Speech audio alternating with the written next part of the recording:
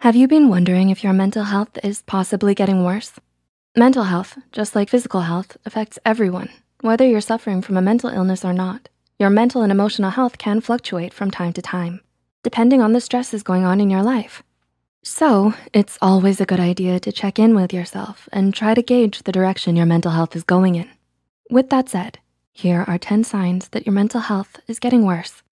Number one, you're losing interest in the little things. Do your favorite activities suddenly seem meh to you? If you've started to lose excitement for life's little things, then this is a sign that your mental health might not be at its best. You might be feeling this way because of an overload of stress in your life, or you're feeling overwhelmed with all of your responsibilities and your to-do lists. When you lose interest and don't enjoy the hobbies and activities that you once did, this could also be a warning sign of depression. If you think this could be what's happening to you, know that you aren't alone and that help is just around the corner. Talk with a trusted friend or family member or a mental health professional to get the help you need to navigate these troubling times. Number two, you get overwhelmed easier. Do you find that you've been getting overwhelmed more often than normal?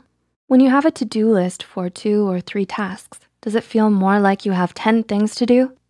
When you start to get overwhelmed easily with everyday things, this could be a sign of worsening mental health. According to psychotherapist Sherry Jacobson, Feeling mentally overwhelmed could be an internal reaction to excessive outside stress.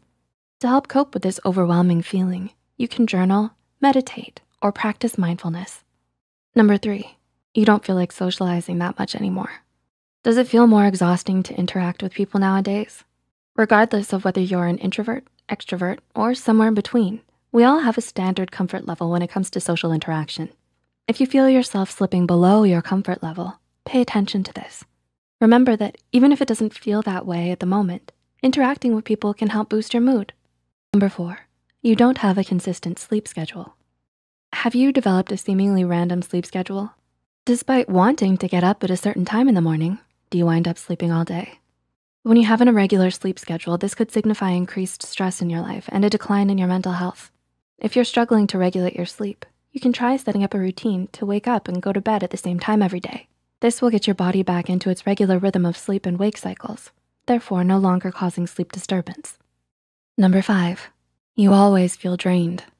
Despite getting enough sleep and eating well, do you constantly feel exhausted or drained? According to Healthline, mental exhaustion can set in when you're under long-term stress, and this type of exhaustion can make it feel like you're trying to move up a mountain. More than just feeling tired, when you're in this drained and constantly exhausted state, you might struggle to get anything done. Healthline suggests practicing gratitude, relaxation, and yoga, as well as talking to a mental health professional to provide medication for you if it's needed. Treatment plans will look different for everyone, but regardless, there is a way that will work best for you to help pull yourself out of this state of exhaustion. Number six, your anxiety seems to be increasing. Do you wake up in the morning with a crushing sense of anxiety that stays with you all day? Does this anxiety cast a cloud over your daily activities? Worsening anxiety can often coincide with worsening mental health. Anxiety affects us all, whether or not you happen to suffer from a particular anxiety disorder. It's important to monitor your anxiety levels because a noticeable change can tell you a lot about your mental health.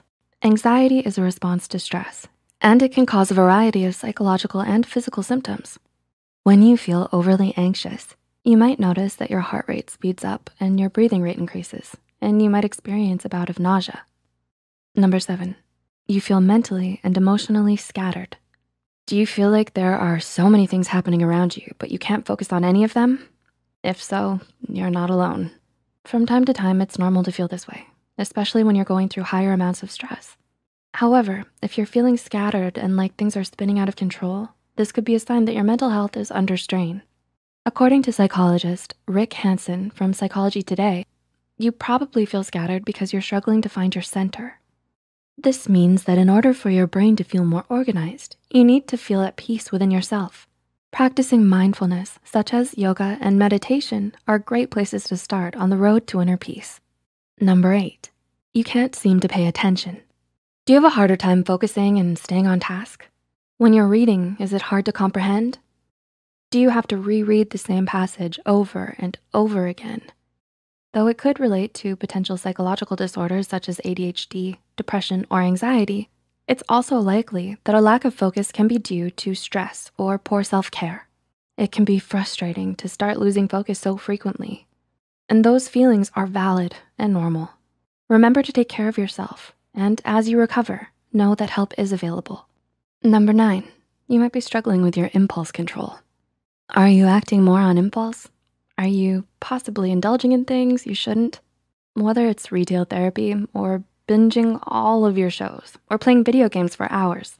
When you act more on impulses like this, it can signify worsening mental health. You might pick up some unhealthy habits as a way to cope with life stress or to fulfill yourself or distract yourself from a major issue going on in your life. Journaling, mindfulness, and therapy are great ways to start uncovering some of these issues. And number 10, you're struggling to feel grounded. Similar to feeling centered, when you are grounded, you are feeling confident and balanced within yourself. According to Irene Langeveld, an energy worker and meditation coach, grounding starts with the root chakra at the base of the spine, known to help you feel secure. Activities that connect your body with the world around you, such as hiking, meditating, or walking outside are great ways to help you find your sense of grounding.